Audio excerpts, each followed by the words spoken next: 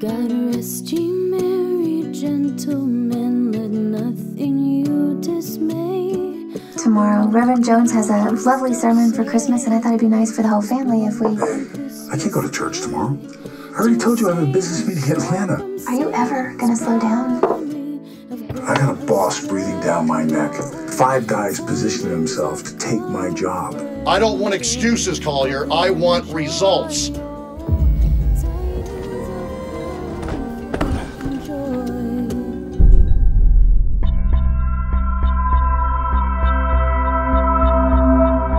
Linda, Don, what you looking for?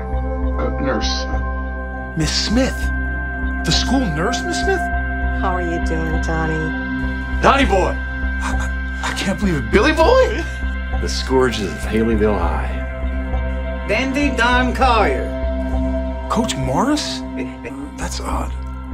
Well, you're about the only person in this building that I don't know already. Donald Sr. worked too hard. It's much of the reason that we don't have him anymore today. It was always my Christmas wish that he would just slow down.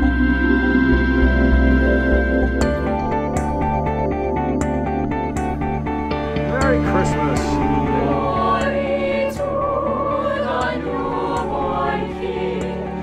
Things being what they are, we still can count on our priorities. And priorities are family and friends. Things always have a way of working themselves out.